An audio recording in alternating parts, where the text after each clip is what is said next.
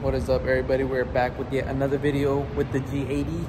Today, I'll be giving you guys a little rundown of a two month ownership review, honest review. Is it really worth the upgrade? Was it worth the upgrade? Um, if you guys are interested in the market, obviously I hope this helps you out make that decision if um, it is worth the upgrade. So let's get right into this video. So all right, everybody, this is gonna be my 2022 G80 M3 two month ownership review.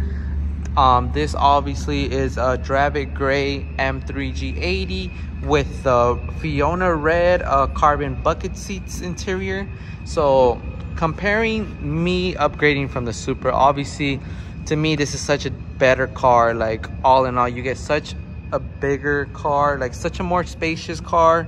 You know, easier to make quicker because all in all that's the goal make it quicker make a car quicker but with this car it's just so easy to make quick so it's perfect with the obviously the red interior is just everybody loves the carbon bucket seats. Everybody always goes crazy for the bucket seats and i see why they're such sick ass cars such a six seats. And then obviously so coming from the supra you don't have that much space obviously. You can only back up the the the seats a little bit before you hit the um, bar that is behind you. And then on top of that you have the s58 dang got a little viper passing by. Okay. But so the obviously the Supra has a b58 single turbo which sounds better than the twin turbo s58 but obviously you're going from a single turbo to a twin turbo which is a better upgrade.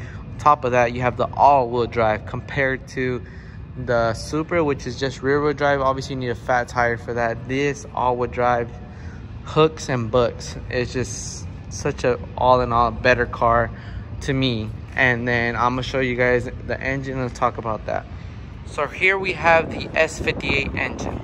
Realistically, all you need guys, downpipe, tune, E50, you are gonna make damn near what I made with $30,000 invested into the Supra. Realistically, like motor wise, it was probably like in the 20s with the transmission and everything but with this car literally downpipe tune E50 you are making like mid 700s like that is insane. This comes with the S58 engine twin turbo compared to the B58 single turbo. So yes this is a lot easier to make quicker. So in all in all in all like it is like performance wise it is much better as well because you get the all-wheel drive. They do sell these in rear-wheel drives but honestly it's all-wheel drive or bust. It, because realistically like making 700 horsepower with like 700 torque you're gonna be spinning like crazy if you don't get all-wheel drive so or if you don't get a tire.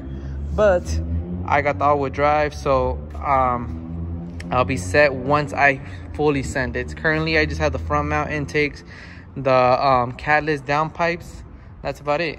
So um yeah the motor wise comparison is not really a comparison. The b58s are a little bit deeper right now into the eight oh no into i think they just hit seven seconds in the quarter mile but i mean that car's been out for a couple of years already. The s58 has two but all in all like this is getting there you know nine second car with downpipe and tune. So that's just insane. So look wise this is a way bigger car compared to the Supra, obviously. Um the Supra is a beautiful car don't get me wrong i do miss it sometimes but this is such a beautiful car. Like I'll show you guys in a little bit the paint, but it is insane in the sun. Um, so the goods and the, the I'll talk. Let's talk about the goods and the bad. So the goods are it's just a, such an amazing car.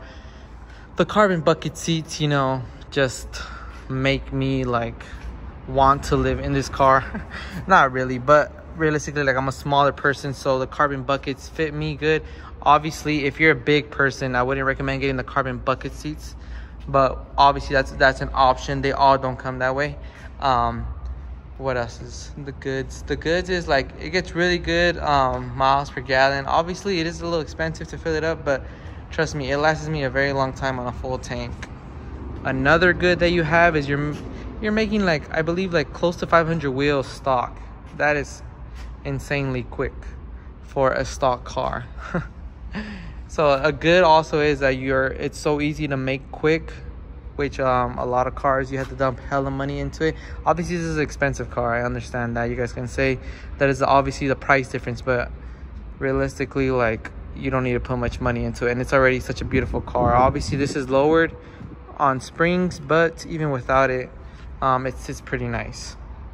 What else? What else can i say? Um so now let's talk about one bad because realistically to me my personal opinion there is no bads in this car guys. You get so much of a car for the price. Like it's insane like the amount of car that you get for this price. It just to me it was obviously worth it. Obviously that's why i got it because this color this interior everything about it the motor obviously it just made me fall in love. Because it was in between this or a GTR or a Mark IV Supra but a GTR to me is so outdated interior wise interior wise you, are so outdated like real, like you are not getting this in a GTR you are not getting the screens you're not getting the Apple CarPlay you're not getting the iDrive 7 um, I feel like the GTRs do lack the interior wise um, for the price for the car it is like this was this is cheaper than the 2017 GTR and you get a lot more car. Um, obviously full bolt on GTR I think that's 58 wins obviously being full bolt on as well E85 um, but yeah I feel like the GTR lacks a lot. And then the Mark IV Supra I didn't get it because it's such an expensive car guys for so much things that you need to do to it.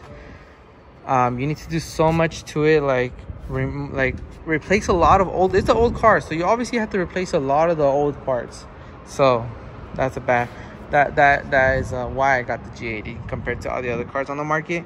Now one of the bads that i do have is the brake dust on these damn bmws my goodness right now it's clean because i literally just washed it for today's video. But my goodness one day of driving it these wheels are full of brake dust. Disgusting like that i just don't understand. Like it's so in like it's just so bad. Like i've never seen brake dust this quick. Like literally one day of driving it and the next day they're literally filthy as hell. I'm gonna see if i have a picture. I don't think i do but if i do i'll drop it here. But it uh, the brake dust on these cars is probably the only bad thing about this car.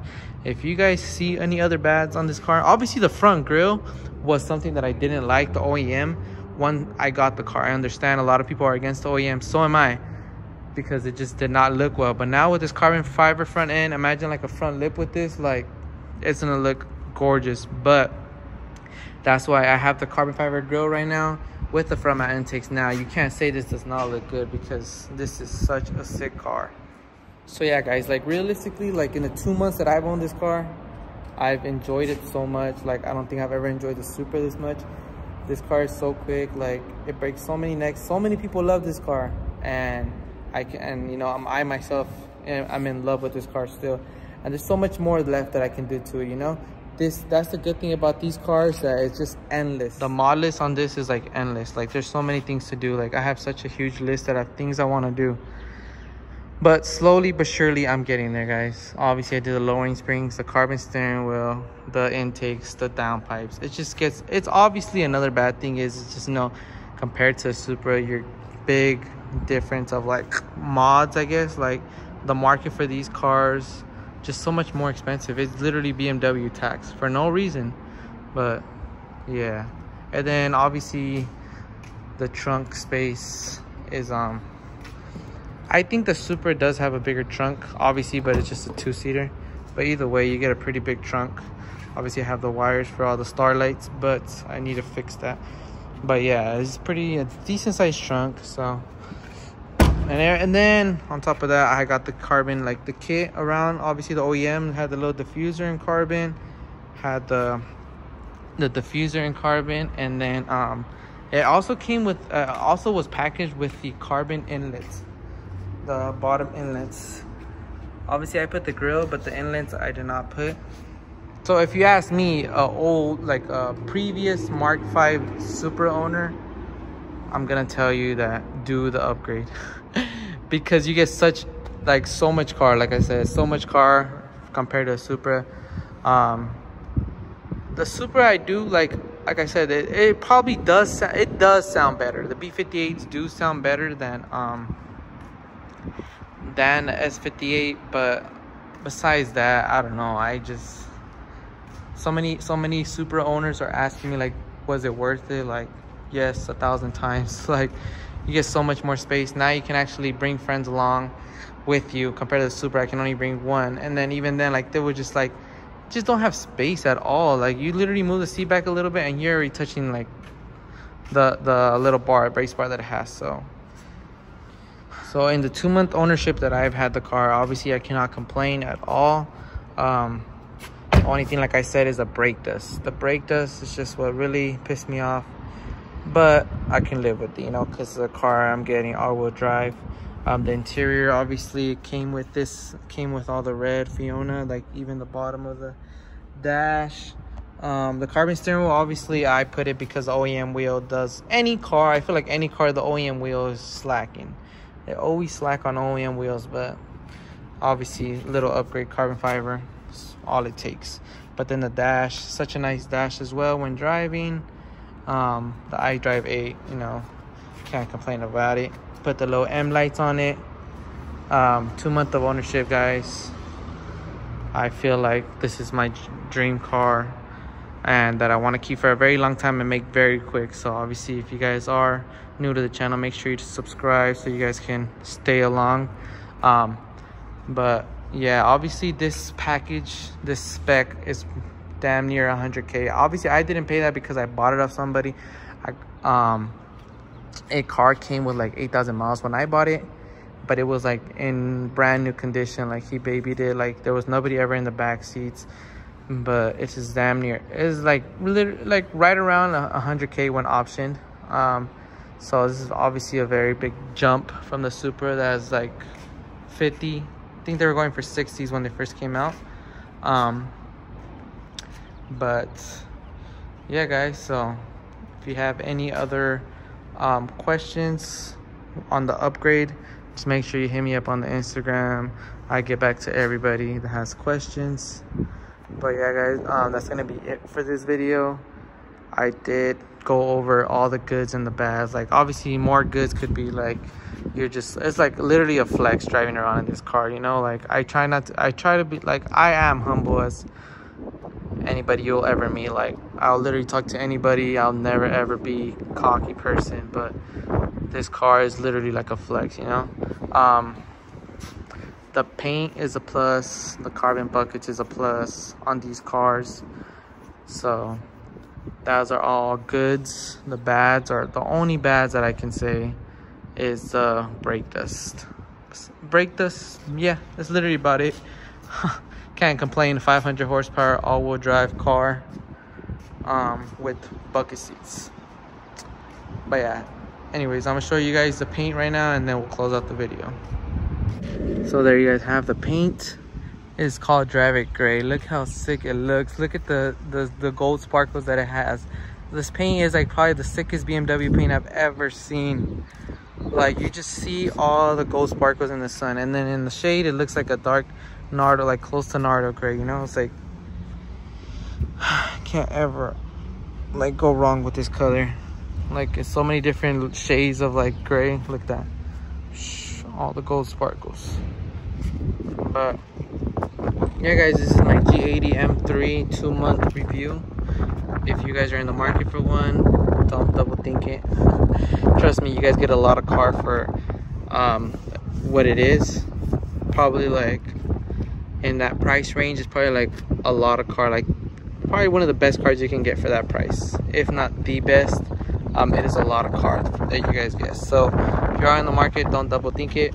Buy that G80 M3 make sure you guys subscribe like this video and comment what other videos you guys like to see.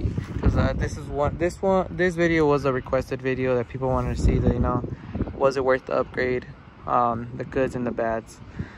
So if you guys are in the market for a G80 go ahead and do it.